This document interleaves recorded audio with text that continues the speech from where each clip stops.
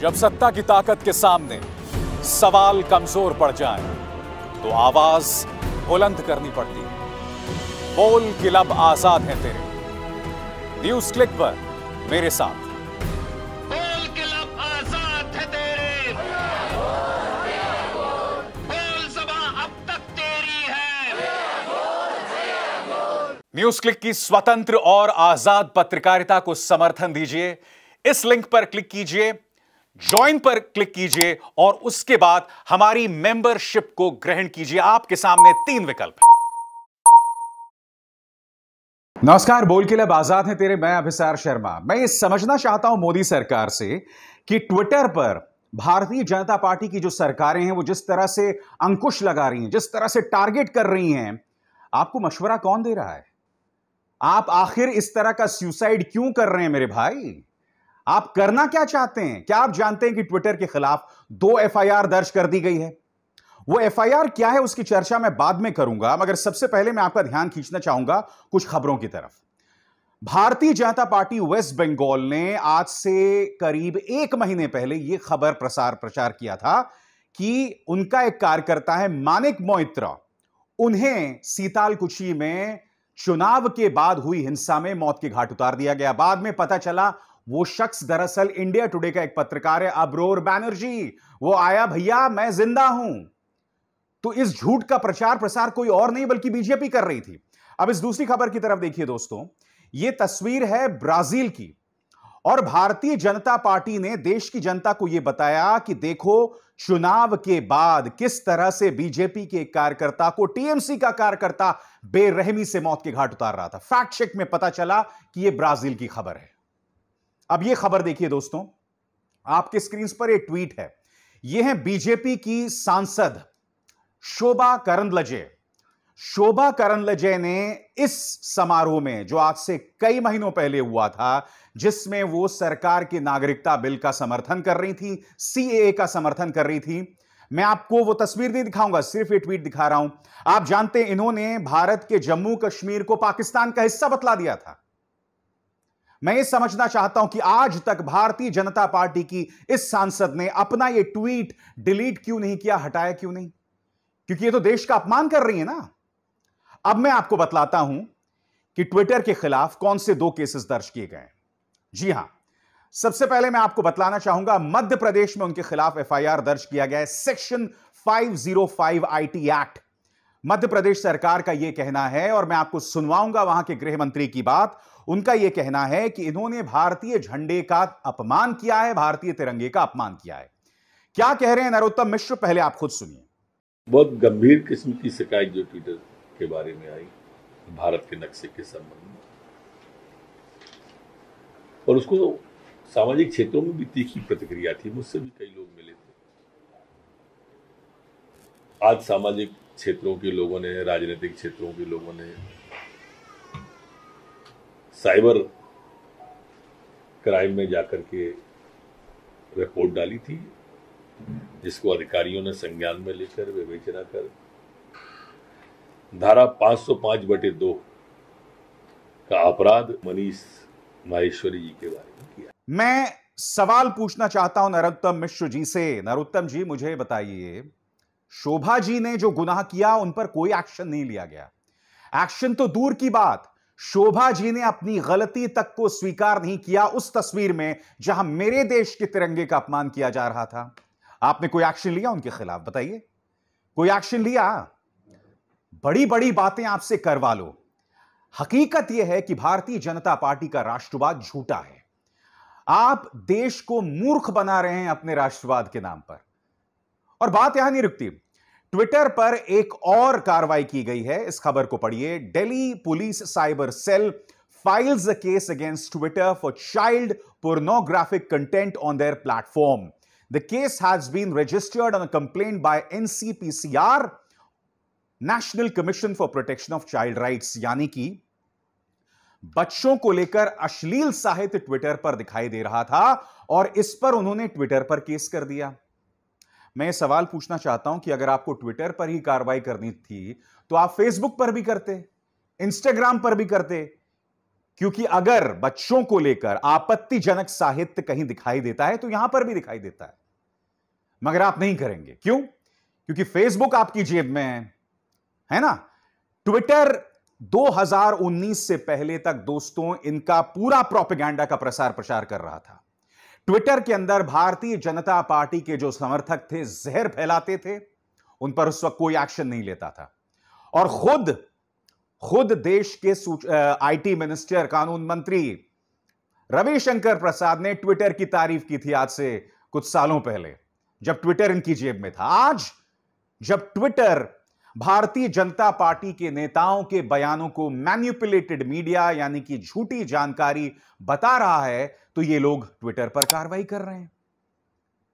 आपको अंदाज़ा है कि आप लोग क्या कर रहे हैं? आपको अंदाज़ा है कि इससे देश की साख पर क्या नुकसान पहुँच रहा है? और सबसे बड़ी बात, अगर आपकी लड़ाई ट्विटर से गलत जानकारी, भ्रामक जानकारी पर हो, है तो मैं यह समझना चाहता हूँ कि जिनके घर शीशे के होते हैं वो कपड़े लाइट ऑफ़ करके बदलते हैं। समझे? अब मैं आपको बताता हूँ कि भारतीय जनता पार्टी क्या करती रही है। दोस्तों, वायर की यह खबर है, बिष्णुपुर से भारतीय जनता पार्टी सांसद हैं सौमित्र खान। युवा मोर्चा के अध्यक्ष हैं। उन्होंने यह बताया था कि नानूर बीरभूम में एक बीजेपी की वर्कर का बलात्कार हुआ और यही नहीं, इंडिया टुडे के एक एग्जीक्यूटिव एडिटर हैं दीप हल्दर उन्होंने भी यह भ्रामक और गलत जानकारी पेश की। बाद में सीआईडी ने इस जानकारी को गलत पाया। वेस्ट बंगाल ने इस जानकारी, वेस्ट बंगाल पुलिस ने इस जानकारी को गलत पाया। यह तो आपके सांसद कर रहे थे। समाज के अंदर अराजकता फैला रहे थे। मैं समझना चाहता हूँ बीजेपी से आपने क्या एक्शन लिया? चलो, ममता बैनर्जी की पुलिस को कायदे से इस दीप हल्दर और सौमित्र खान पर एक्शन लेना चाहिए था। इन्होंने नहीं लिया। और मैंने कार्यक्रम की शुरुआत में आपको बताया, पश्चिम बंगाल के अंदर, ब्राज़ील के एक वीडियो को ये लोग ये चलाकर इसका प्रचार प्रसार कर रहे थे कि ये वेस्ट बंगाल के अंदर का वीडियो है और देखिए किस तरह से बीजेपी के कार्यकर्ता को मारा जा रहा है। और बात यहाँ नहीं रुकती, आगे देखिए दोस्तों। उड़ीसा के एक वीडियो को आज तक के पत्रकार कमलेश सिंह ने इसका प्रचार प्रसार किया यह बताते हुए कि देखो पश्चिम बंगाल में किस तरह की हिंसा हो रही है। कमलेश सिंह पर कोई एक्शन नहीं लिया गया। बाद में कमलेश सिंह ने अपना ट्वीट डिलीट कर दिया था।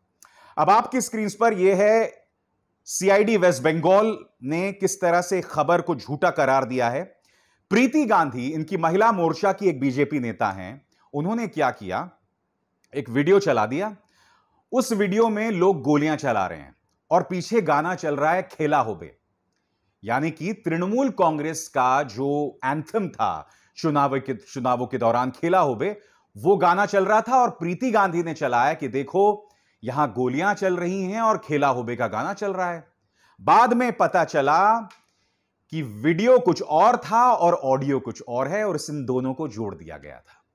मैं ये समझना चाहता हूँ प्रीति गांधी पर, क्या भारतीय जनता पार्टी की किसी सरकार ने एफआईआर दर्ज किया?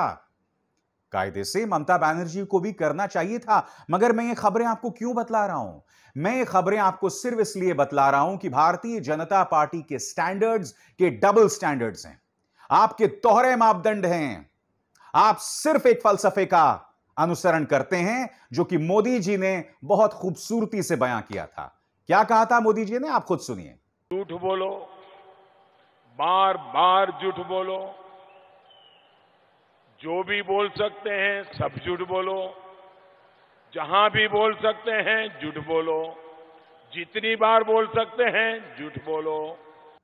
जी हाँ, झूठ बोलो झूठ बोलो और झूठ बोलो। और एक और बात कही थी मोदी जी ने, याद है? हिपोक्रेसी की भी कोई सीमा होती है। क्योंकि आप लोग समाज के अंदर इस तरह से जहर फैलाते रहेंगे, आप इस तरह से नफरत फैलाते रहेंगे और फिर आप ये उम्मीद करते हैं कि जब ट्विटर से कोई गलती हो जाए तो आप उन पर एक्शन लें। अगर ट्विटर वाकई कोई गलती कर रहा है तो आप ज़रूर उन पर एक्शन लीजिए, मगर आप सिर्फ़ इसलिए एक्शन ले रहे हैं क्योंकि ट्विटर ने हाल के दिनों में आपकी पोल खोलकर रख दी है और इसके अलावा कुछ नहीं। और एक और बात मैं आपको बताता हूँ। दोस्तों, हो क्या रहा है कि कई जो अमेरिकन कंपनीज़ हैं आज की तारीख में, वो अपने दफ्तरों को सिंगापुर और दुबई शिफ्ट कर रहे हैं भारत से। क्यों?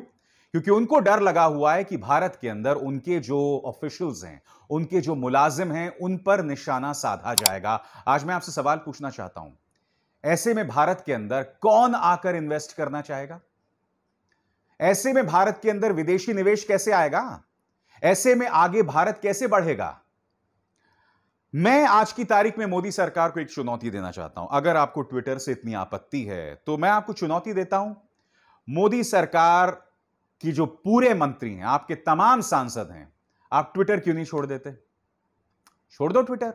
जिस प्रचार तंत्र का इस्तेमाल आप एक अरसे से करते आ रहे थे, आज वही प्रचार तंत्र आप पर हावी हो रहा है, क्योंकि विपक्ष लगातार मज़बूत हो रहा है। सरकार से सवाल करने वाली ताकतें लगातार मज़बूत हो रही हैं। अगर कोई मेरे तिरंगे का अपमान करता है तो बिल्कुल उस पर कार्रवाई होनी चाहिए। मगर उस संस्था को तिरंगे पर कुछ कहने का अधिकार नहीं है, जिसने पचास साल तक अपने दफ्तर में तिरंगे को नहीं फहराया और मैं बात कर रहा हूँ आरएसएस की। और मेरे ख्याल से साल 2002 में जब तीन युवा नागपुर में आरएसएस के मुख्यालय में घुसकर तिरंगा फहराने की कोशिश करते हैं तो आरएसएस ने उनके खिलाफ केस कर दिया था। मुकदमा कर दिया था तिरंगा फहराने के लिए। तो कम से कम मुझे आपसे नहीं सुनना है कि राष्ट्रवाद क्या होता है? पहले उसे पढ़िए, समझिए, अपने इतिहास को देखिए। कौन थे जो अंग्रेज़ों के सामने गिड़गिड़ा रहे थे? वो कौन थे जो मुस्लिम लीग के साथ कंधे से कंधा मिलाकर भारत छोड़ो आंदोलन में देश के साथ नहीं थे? जी हाँ, आरएसएस। हकीकत यह है। इसलिए मुझे आपसे किसी भी सूरत में राष्ट्रवाद का पाठ नहीं पढ़ना है। दोस्तों, जब देश का अपमान होगा तो पूरा देश साथ खड़ा होगा देश की इज़्ज़त को डिफेंड करने के लिए, देश की अस्मिता का सम्मान करने के लिए। मगर जब राजनीति के लिए आप राष्ट्रवाद जैसे शब्दों का इस्तेमाल करते हैं तो वो सिर्फ़ और सिर्फ़ दोहरे मापदंड है। और उसका मकसद सिर्फ़ कुछ चंद वोट्स हासिल करना है और उसके अलावा कुछ नहीं। आज सही मायनों में आप एक्सपोज हो चुके हैं। आज सही मायनों में बादशाह के तन पर एक भी कपड़ा नहीं है। हकीकत आपके सामने है और आप उससे मुँह नहीं मोड़ सकते। नमस्कार।